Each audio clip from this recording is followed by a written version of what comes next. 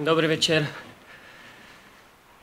Tak my zase na rozdiel od minulého zápasu sme veľmi dobre vstúpili do tohto zápasu.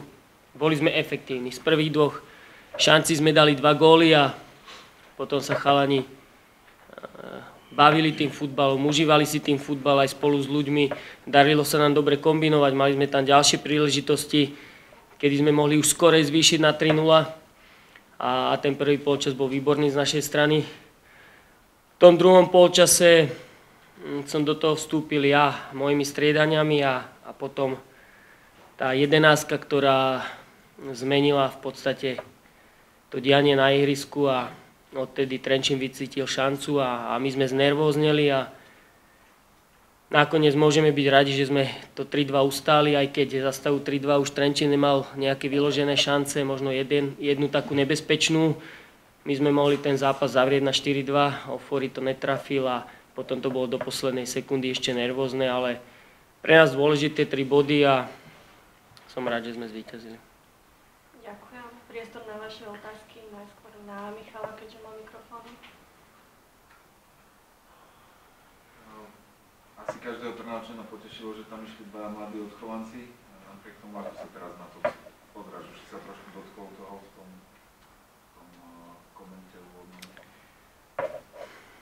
Ja viem, že takýmito striedaniami riskujem, ale, ale bolo 3-0 a ja som tým chalanom chcel dať šancu. Je ľahké ich postaviť na 15 minút, ale chcel som im dať dlhší časový úsek a stalo sa to, čo sa stalo. Ten Ulino spravil tú penaltu, ktorá sa nemala stať a tam sa všetko zmenilo. Lebo to je dôvod, prečo ja sa ho bojím postaviť, pretože on je fantastický obranca, ale on každý druhý tréning toto spraví a, a potom je ťažké, ťažké takého hráča dať do tej základnej zostavy. A to bol ten moment, pretože tí chalani potom sa z toho oklepali a to nebolo o nich my sme zostali nervózni celé mužstvo, ale to bol ten moment, ktorý nemal prísť tá penálta. Jasné, ja beriem na seba tie striedania. Ja som presvedčil aj asistentov, že, že chcem, aby išli hrať, chcem, aby išli v 55. alebo kedy to bolo a, a bolo to moje rozhodnutie. Áno, spätne asi, asi určite nebolo správne, ale chvála Bohu, aspoň sme vyhrali. Je to poučenie aj pre mňa. Mal si toho tých skúsených hráčov, lebo si ich chcel ušetriť celý tým, že vás čaká pohárový zápas a potom derby? Tak, samozrejme, aj, aj na to sme pozerali, že pokiaľ bolo 3-0 okolo 60. minúty a my máme strašne dôležitý zápas a možno dôležitejší ešte zápas ako dneska, ten pohárový v útorok, tak samozrejme kalkulujete aj s týmto. Napriek tomu znížili ste stratu na Slovan, takže dá sa hodnotiť pozitívne.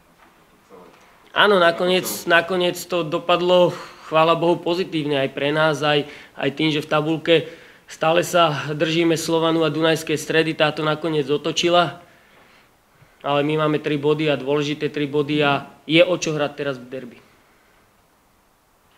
Ešte nejaké otázky? By som sa tak chcel opýtať na začiatku zápasu, ten dobrý vstup bol ovplyvnený aj tým, možno, že sa chceli tí hráči rehabilitovať za ten Ružomberok? Určite áno, my sme to nadstavenie mali dobre, ale my máme vždy tie prvé polčasy veľmi dobre, len strašne záleží od toho, či sme efektívni, či dáme tie prvé šance góly, pretože my si, my si ich fakt vytvárame. Myslím, že každý domáci zápas, že sa nestalo ešte, že by sme sa nejak trápili, že, že by sme si nedokázali tie šance vytvárať. A dneska, dneska to bolo o efektivite. Prvá šanca, gól, druhá kombinácia, krásna, góla a potom, potom prišli ešte ďalšie pekné. A o tom to je, v tom futbale potrebujete byť efektívni a prvý gól často ten zápas mení a rozhoduje ho.